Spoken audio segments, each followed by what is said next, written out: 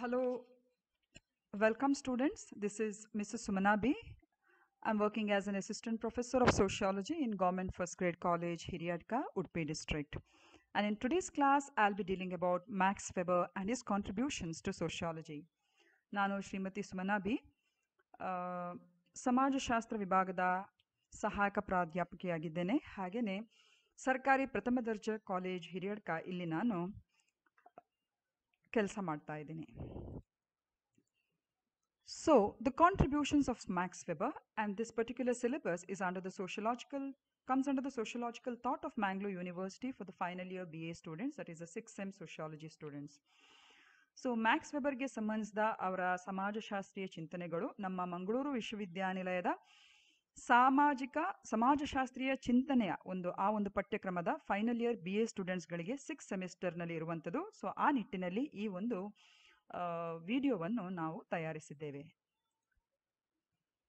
Max Weber was a German sociologist philosopher and a political economist whose ideas influence social theory social research and the discipline of sociology itself though he died at the age of fifty nine during his lifetime he produced many significant works so ಜರ್ಮನಿಯ ಈ Max Weber ಅವರು ಸಮಾಜಶಾಸ್ತ್ರ, ಅರ್ಥಶಾಸ್ತ್ರ, ರಾಜಕೀಯ ಶಾಸ್ತ್ರ ಹೀಗೆ ಬೇರೆ ಬೇರೆ ಆಯಾಮಗಳಲ್ಲಿ ತಮ್ಮದೇ ಆದ ರೀತಿಯಲ್ಲಿ ಕೊಡುಗೆಗಳನ್ನು ಕೊಟ್ಟಿದ್ದಾರೆ.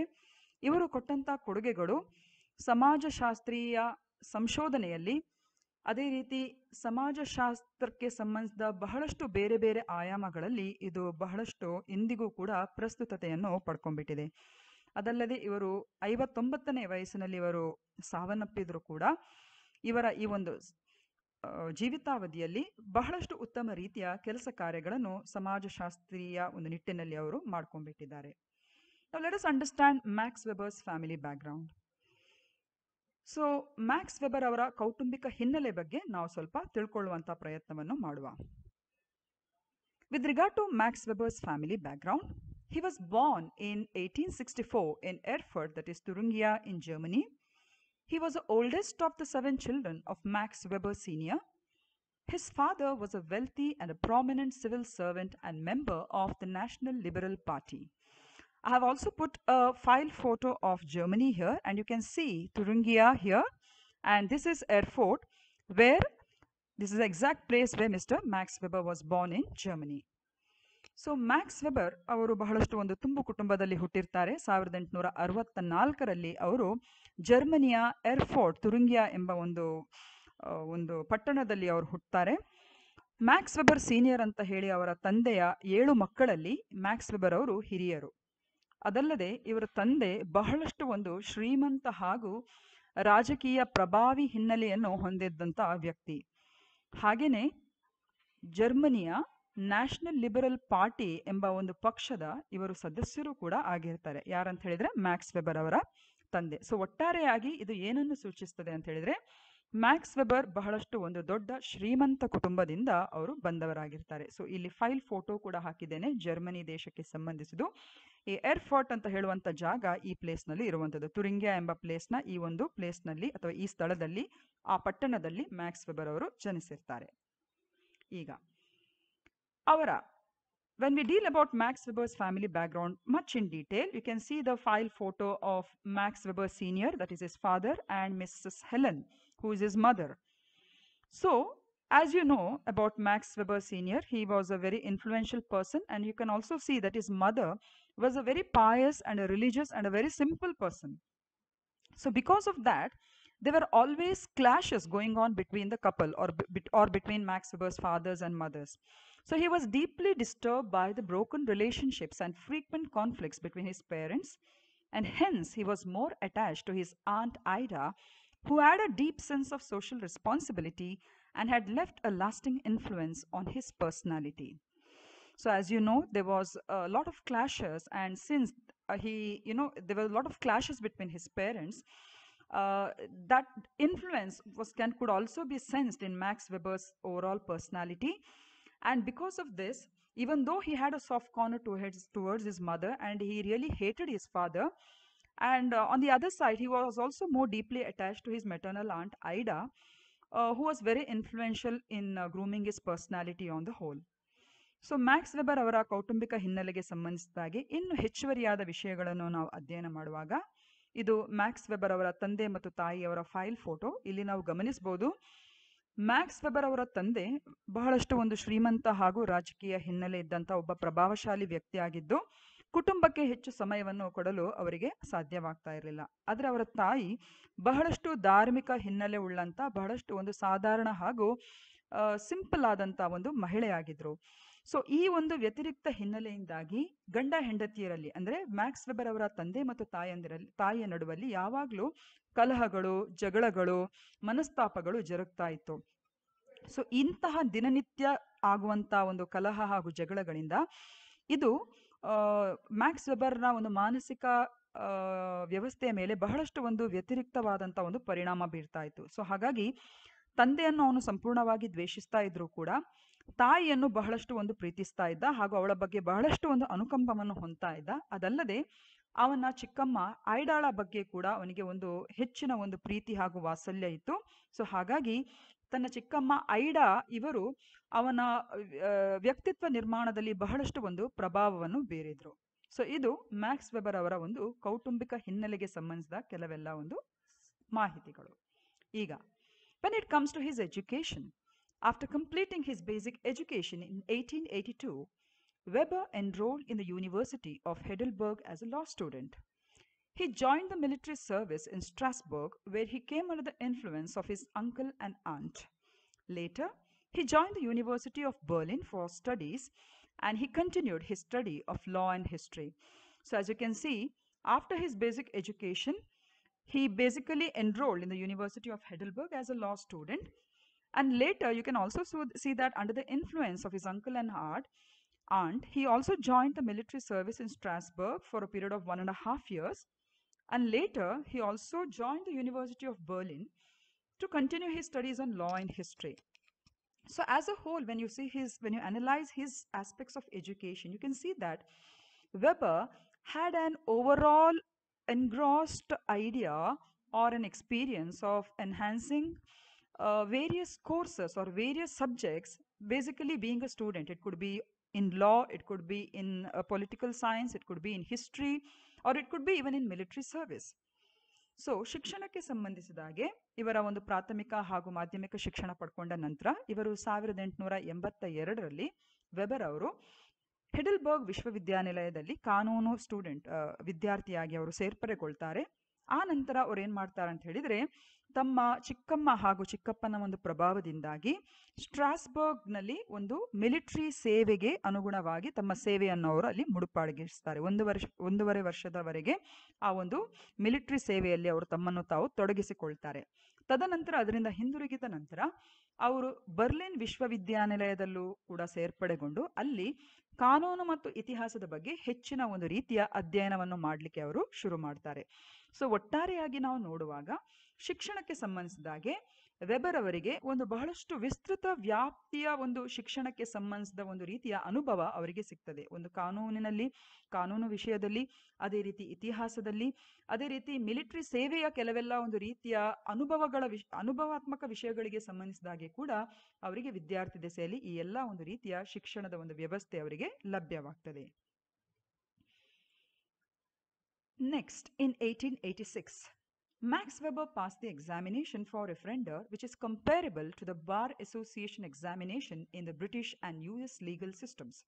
In 1893, he was appointed as a professor of economics at the University of Freiburg and at Heidelberg University in 1896. So ಸಾವಿರದ ಎಂಟುನೂರ ಎಂಬತ್ತಾರರಲ್ಲಿ ವೆಬರ್ ಅವರು ರೆಫರೆಂಡರ್ ಅಂತ ಹೇಳುವಂಥ ಒಂದು ಪರೀಕ್ಷೆಯನ್ನು ತೇರ್ಗಡೆಗೊಳ್ತಾರೆ. ಇದು ಯಾವುದಕ್ಕೆ ಸಮ ಆಗಿರ್ತದೆ ಅಂತ ಹೇಳಿದರೆ, ಬ್ರಿಟಿಷ್ ಮತ್ತು ಅಮೆರಿಕನ್ನ ಕಾನೂನು ವ್ಯವಸ್ಥೆಗೆ ಬಹಳಷ್ಟು ಹತ್ತಿರವಾಗುವಂಥ ಅಥವಾ ಅದಕ್ಕೆ ಸಮರ್ಪಕವಾಗುವಂಥ ಒಂದು ರೀತಿಯ ಪರೀಕ್ಷೆ, ಕಾನೂನಿಗೆ ಸಂಬಂಧಿಸಿದಾಗೆ ಅದೊಂದು ಪರೀಕ್ಷೆ. ಸೊ ಅದರಲ್ಲಿ ಅವರು ತೇರ್ಗಡೆಗೊಂಡಿರ್ತಾರೆ. ಸೊ ಕಾನೂನಾತ್ಮಕ ವಿಷಯಕ್ಕೆ ಸಂಬಂಧಿಸಿದಾಗೆ ಮ್ಯಾಕ್ಸ್ ವೆಬರ್ ಇವರ ಅಪರಿಮಿತವಾದಂಥ ಒಂದು ಜ್ಞಾನಕ್ಕೆ ಇದೊಂದು ಸಂಕೇತವಾಗಿದೆ. ಅದಲ್ಲದೆ, ಸಾವಿರದ ಎಂಟುನೂರ ತೊಂಬತ್ತ ಮೂರರಲ್ಲಿ ಇವರು ಫ್ರಿಗ್ಬರ್ಗ್ ಯೂನಿವರ್ಸಿಟಿ ಮತ್ತು ಹೆಡಲ್ಬರ್ಗ್ ವಿಶ್ವವಿದ್ಯಾನಿಲಯದಲ್ಲಿ ಇವರು ಪ್ರಾಧ್ಯಾಪಕರಾಗಿ ಕೂಡ ಸಾವಿರದ ಸಾವಿರದ ಎಂಟುನೂರ ತೊಂಬತ್ತ ಮೂರು ಹಾಗೂ ಸಾವಿರದ ಎಂಟುನೂರ ತೊಂಬತ್ತಾರರಲ್ಲಿ ಅವರು ಪ್ರಾಧ್ಯಾಪಕರಾಗಿ ಸೇರ್ಪಡೆಗೊಳ್ತಾರೆ ನಾವು He suffered nervous breakdown in July 1897 due to pressure on personal fronts, but later he recovered with the aid of his wife. As you can see, uh, Max Weber was not in a very good relationship with his father. He was not in good terms with his father, and due to some issue, personal issue, he had a you know terrible fight with his father, and within one month, that is in June 1897, he lost his father. And that would have had a very you know negative impact on mr max weber.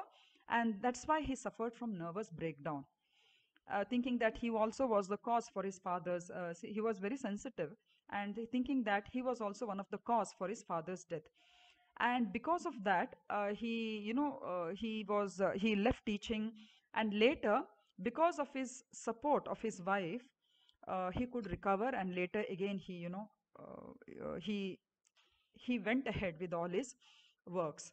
So he was appointed as the Associate Director of Archives in 1903 and also as a Director of Army Hospitals at Heidelberg during the First World War during, due to his voluntary service. And he also founded the German Sociology, Soci- Sociological Society in 1910. And apart from that, after he came out from those nervous break- breakdown, you can see that he had lectured at most of the various universities of Vienna and Munich. Okay so Max ವೆಬರ್ಗೆ ಸಂಬಂಧಿಸಿದ ಹಾಗೆ July ಸಾವಿರದ ಎಂಟುನೂರ ತೊಂಬತ್ತ ಏಳರಲ್ಲಿ ಇವರೊಂದು ಬಹಳಷ್ಟು ಒಂದು ಮಾನಸಿಕ ಒಂದು ರೀತಿಯ ಒತ್ತಡಕ್ಕೆ ಒಳಗಾಗಿ ಅವರು ಬಹಳಷ್ಟು ಒಂದು ವೇದನೆಯನ್ನು ಅನುಭವಿಸ್ತಾರೆ. ಇದಕ್ಕೆ ಮುಖ್ಯ ಕಾರಣ ಏನು ಅಂತ ಹೇಳಿದ್ರೆ, ಅವರ ತಂದೆಯೊಂದಿಗಿನ ಅವರ ಮನಸ್ತಾಪ. ಸರಿಸುಮಾರು ಜೂನ್ ಸಾವಿರದ ಎಂಟುನೂರ ತೊಂಬತ್ತ ಏಳರಂದು ಒಂದು ಸಣ್ಣ ವಿಷಯಕ್ಕೆ ಸಂಬಂಧಿಸಿದಾಗೆ, ಕೌಟುಂಬಿಕ ವಿಷಯಕ್ಕೆ ಸಂಬಂಧಿಸಿದಾಗೆ ಮ್ಯಾಕ್ಸ್ ವೆಬರ್ ಮತ್ತು ಅವರ ತಂದೆಗೆ ತೀವ್ರವಾದಂತಹ ಒಂದು ಒಳಜಗಳ ನಡೀತದೆ. ಅದಾದ ಕೆಲವೇ ದಿನಗಳಲ್ಲಿ ಮ್ಯಾಕ್ಸ್ ವೆಬರ್ ಅವರ ತಂದೆ ಸಾವನ್ನಪ್ತಾರೆ. ಆ ಸಾವಿಗೆ ತಾನೇ ಕಾರಣ ಎನ್ನುವ ಒಂದು ರೀತಿ ಅಥವಾ ಒಂದು ಒತ್ತಡ ಅವರನ್ನು ಬಹಳಷ್ಟು ಒಂದು ಖಿನ್ನತೆಗೆ ಒಳಪಡ್ತದೆ. ಇದರಿಂದಾಗಿ ಅವರು ಖಿನ್ನತೆಗೆ ಒಳಪಟ್ಟು ತಮ್ಮ ಎಲ್ಲ ಅಧ್ಯಾಪನ ಹಾಗೂ ಎಲ್ಲ ಇತರ ಒಂದು ಬಹಳಷ್ಟು ಒಂದು ಏನು ಸಾಮಾಜಿಕ ಒಂದು ಒಂದು ವಿಷಯ ವ್ಯಾಪ್ತಿಯಿಂದೆಲ್ಲ ಅವರು ಹಿಂಜರಿತಾರೆ. ಆದರೆ ಅವರ ಹೆಂಡತಿ ಬಹಳಷ್ಟು ಒಂದು ಡೇರಿಂಗ್ ಆಗಿರ್ತಾರೆ. ಅವರು ಮ್ಯಾಕ್ಸ್ ವೆಬರ್ ಅನ್ನು ಬಹಳಷ್ಟು ಒಂದು ರೀತಿ ಸಮಾಲೋಚನೆ ಮಾಡಿ ಈ ಖಿನ್ನತೆಯಿಂದ ಹೊರಬಂದು ಮುಂದೆ ನಮ್ಮ ಸಮಾಜಶಾಸ್ತ್ರ ಹಾಗೂ ಸಮಾಜಕ್ಕೆ ಬೇಕಾಗುವಂತ ಒಂದು ಒಳ್ಳೆ ರೀತಿಯ ಕೆಲಸಗಳನ್ನು ಹಾಗೂ ಕೊಡುಗೆಗಳ ಕೊಡುಗೆಗಳನ್ನು ಅವರು ಕೊಡಲಿಕ್ಕೆ ಬಹುಶಃ ಅವರ ಹೆಂಡತಿಯು ಕೂಡ ಅಥವಾ ಅವರ ಪತ್ನಿ ಕೂಡ ಇದಕ್ಕೆ ಕಾರಣೀಭೂತರಾಗ್ತಾರೆ. ತದನಂತರ ಅಖಿನ್ನತೆಯಿಂದ ಖಿನ್ನತೆಯಿಂದ ಹೊರಬಂದ ನಂತರ ಮ್ಯಾಕ್ಸ್ ವೆಬರ್ ಇನ್ನೂ ಕೂಡ ಉತ್ತಮ ರೀತಿಯಲ್ಲಿ ಕಾರ್ಯಪ್ರವೃತ್ತರಾಗ್ತಾರೆ. ಆ ನಂತರ ಸಾವಿರದ ಒಂಬೈನೂರ ಮೂರರಲ್ಲಿ ಇವರನ್ನು ಆರ್ಚಿವ್ಸ್ ಡಿಪಾರ್ಟ್ಮೆಂಟ್ ಅಲ್ಲಿ ಇವರನ್ನು ಸಹಾಯಕ ನಿರ್ದೇಶಕರಾಗಿ ಕೂಡ ಅವರನ್ನು ನೇಮಕಾತಿ ಮಾಡಲಾಗ್ತದೆ. ಆ ನಂತರ ಆರ್ಮಿ ಆಸ್ಪತ್ರೆ ಹೆಡಲ್ಬರ್ಗ್ ಅಲ್ಲಿ ಕೂಡ ಪ್ರಥಮ ವಿಶ್ವ ಯುದ್ಧ ಏನು ನಡೀತದೆ? ವರ್ಲ್ಡ್ ವಾರ್ ನಡೀತದೆ. ಅದಕ್ಕೆ ಸಂಬಂಧಿಸಿದ ಹಾಗೆ, ಆ ವಾಲಂಟ್ರಿ ಸರ್ವಿಸ್ ಅನ್ನು ಇವರು ಹಿಂದೆ ನೀಡಿದಂಥ ಮಿಲಿಟರಿ ಸೇವೆಯಲ್ಲಿ ಮನಗಂಡು, ಆ ಆರ್ಮಿ ಹಾಸ್ಪಿಟಲ್ನ ನಿರ್ದೇಶಕರನ್ನಾಗಿ ಕೂಡ ಇವರನ್ನು ನೇಮಕ ಮಾಡ್ತದೆ. ಅದ ನಂತರ ಜರ್ಮನ್ ಸಮಾಜಶಾಸ್ತ್ರೀಯ ಸೊಸೈಟಿ ಅಂತ ಹೇಳುವಂತ he founded the German sociological society also in nineteen nought ten ಅದಲ್ಲದೆ ತಮ್ಮ ಬೇರೆ ಬೇರೆ ರೀತಿಯ ವಿಷಯ ವ್ಯಾಪ್ತಿಯ ಒಂದು ಅನುಭವಗಳಿಂದ ವಿಯೆನ್ನಾ ವಿಶ್ವವಿದ್ಯಾನಿಲಯ ಮುನಿಷ್ ವಿಶ್ವವಿದ್ಯಾನಿಲಯ ಇಲ್ಲೆಲ್ಲ ಅವರು ತಮ್ಮ ಉಪನ್ಯಾಸಗಳನ್ನೆಲ್ಲ ಕೊಡಲಾರಂಭಿಸಿದ್ದಾರೆ ಇದಲ್ಲದೆ ವೆಬರ್ ಅವರು ಬಹಳಷ್ಟು ಒಂದು ಉತ್ತಮ ರೀತಿಯ ಕೃತಿಗಳನ್ನೆಲ್ಲ ರಚಿಸಿದ್ದಾರೆ ಇವತ್ತಿಗೂ ಕೂಡ his works are very important specially in the field of economics sociology. So I have uh, just the important books I have just, I mean, spread it in the slide here. The main among them is The Protestant Ethic and Spirit. Similarly, you have The Economy and Society. It's an outline of interpretive sociology from Max Weber, that is Essays in Sociology, and the vocation lectures, that is Science as a Vocation, Politics as a Vocation. Similarly, The Sociology of Religion, The Theory of Social and Economic Organization, Political, Als Beruf, and the Methodology of the Sociological Social Sciences. So there are many other important works. So apart from them, the most important six I have just listed out here, and these are the important works of Max Weber. So Max weber na ಕೃತಿಗಳು ಅಥವಾ ಕೃತಿಗಳಿಗೆ ಸಂಬಂಧಿಸಿದ ಒಂದು important ಕೆಲವು ಕೃತಿಗಳನ್ನು ನಾನು ಈ ಸ್ಲೈಡಲ್ಲಿ ಹಾಕಿದ್ದೇನೆ ಅದರಲ್ಲಿ ಮುಖ್ಯವಾದದ್ದು the Protestant ethics and spirit of capitalism economy and society essays in sociology the vocation lectures sociology of religion so ಇವೆಲ್ಲ ಈಗ ಮ್ಯಾಕ್ಸ್ ವೆಬರ್ ಅವರು ಸಮಾಜಶಾಸ್ತ್ರಕ್ಕೆ ತಮ್ಮದೇ ಆದ ರೀತಿಯ ಆಯಾಮದಲ್ಲಿ ಅವರು ಕಾಂಟ್ರಿಬ್ಯೂಷನ್ಸ್ ಅನ್ನು ಕೊಟ್ಟಿದ್ದಾರೆ. ಅದರಲ್ಲಿ ಪ್ರಮುಖವಾದದ್ದು theory of social action concept of ideal types social of religion sociology of religion types of authority bureaucracy ಇವೆಲ್ಲ ಮುಂದಿನ ನನ್ನ ವಿಡಿಯೋಗಳಲ್ಲಿ ಅದನ್ನು ನಾನು ಡೀಲ್ ಮಾಡಲಿಕ್ಕಿದ್ದೇನೆ. ಸೊ ವೆಬರ್ಗೆ ಸಂಬಂಧಿಸಿದಾಗೆ ಸಾಮಾಜಿಕ ಕ್ರಿಯೆ ಇರ್ಬೋದು, ಅದಕ್ಕೆ ಸಂಬಂಧಿಸಿದ, ಸಾಮಾಜಿಕ ಕ್ರಿಯೆಗೆ ಸಂಬಂಧಿಸಿದ ಸಿದ್ಧಾಂತ, ಆದರ್ಶ ಟೈಪ್ನ ಕುರಿತ ಹಾಗೆ ಇರುವಂಥ ಒಂದು, ಆ ಒಂದು ಟರ್ಮಿನಾಲಜಿ ಅಥವಾ ಒಂದು ಕಾನ್ಸೆಪ್ಟ್ ಅದೇ ರೀತಿ ರಿಲಿಜನ್ಗೆ ಸಂಬಂಧಿಸಿದಾಗೆ ಅವರ ದೃಷ್ಟಿಕೋನ, ಅಧಿಕಾರಕ್ಕೆ ಸಂಬಂಧಿಸಿದ ಬೇರೆ ಬೇರೆ ವಿಧಗಳು. ನೌಕರಶಾಹಿ, ಬ್ಯೂರೋಕ್ರಸಿಗೆ ಸಂಬಂಧಿಸಿದ ಅವರ ಒಂದು ರೀತಿಯ ದೃಷ್ಟಿಕೋನ. ಸೊ ಇವೆಲ್ಲ ಅವರ ಕಾಂಟ್ರಿಬ್ಯೂಷನ್ಸ್ಗಳು ಅಥವಾ ಥಿಯೋರಾಟಿಕಲ್ ಆಸ್ಪೆಕ್ಟ್ಸ್ಗಳನ್ನು ನಾವು ಮುಂದಿನ ವಿಡಿಯೋಗಳಲ್ಲಿ ಅದನ್ನು ಅಧ್ಯಯನ ಮಾಡಲಿಕ್ಕಿದ್ದೇವೆ. So please do follow the video ಮತ್ತೆ ಇವತ್ತಿನ ಈ ಸ್ಲೈಡ್ಗೆ ಸಂಬಂಧಿಸಿದಾಗೆ ಎಕ್ಸ್ಪೆಕ್ಟೆಡ್ ಕ್ವೆಶನ್ಸ್ ಏನು ಅಂತ ಹೇಳಿದ್ರೆ explain in details life sketch of Max Weber ಅಂತ ಕೇಳಬಹುದು ಹೆಚ್ಚಾಗಿ ಹದಿನೈದು ಮಾರ್ಕ್ ನಮ್ಮ ಮಂಗಳೂರು ವಿಶ್ವವಿದ್ಯಾನಿಲಯದ ಪ್ಯಾಟರ್ನ್ ಅಲ್ಲಿ ಈ ಫಿಫ್ಟೀನ್ ಮಾರ್ಕ್ಸ್ಗೆ ಹೆಚ್ಚಾಗಿ ಪ್ರಶ್ನೆಗಳನ್ನು ಕೇಳ್ತಾರೆ. ಮ್ಯಾಕ್ಸ್ ವೆಬರ್ ಅವರ ಜೀವನ ಚರಿತ್ರೆಗೆ ಸಂಬಂಧಿಸಿದ ವಿಷಯಗಳನ್ನು ವಿವರಿಸಿ. So I thank you all of you for patiently listening to this video. And uh, once again, I will uh, see you soon in the forthcoming videos on Max Weber's contributions. Thank you one and all.